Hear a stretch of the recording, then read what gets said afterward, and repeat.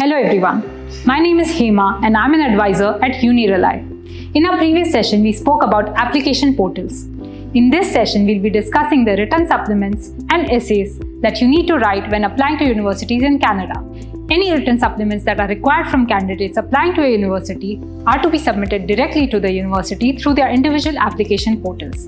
The written supplements may be in the traditional essay format, also known as the Statement of Purpose or SOP or in the form of a questionnaire.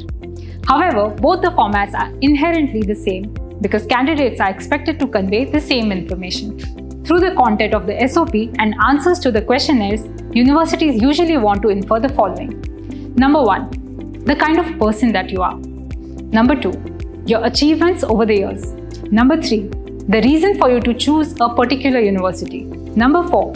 What makes you a good fit for the university. Number 5 the extracurricular activities you have participated in and your learnings through them. Number 6. Your learnings from work or volunteer experiences and the impact you made in those positions. Now let's talk about how to write a good written statement. Number 1. When writing an essay, you should always break down the essay into various parts. If you are filling in a questionnaire, you are already at an advantage. Number 2. It is best to create an outline for an essay and make sure that you cover every aspect of the outline. Number 3. You are unique and you should use this opportunity to tell your unique story. Be expressive and give the admission counselors something they can remember. Number 4. Universities want to know your personality, how you deal with hardships, and strive for success.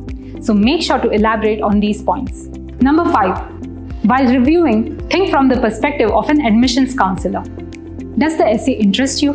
Do the ideas flow logically? Does the essay have your own voice and your personal touch? Number 6. Proofread your essay a million times. Ask your teachers, your friends, family, and of course your advisors at UniRely. Be honest and be yourself. Don't even consider lying on your application because the admission counselors have enough experience to be able to see through a lie. We hope you found this video helpful. In the next video, we will be talking about scholarships, awards, and bursaries. So make sure to like, share, and subscribe.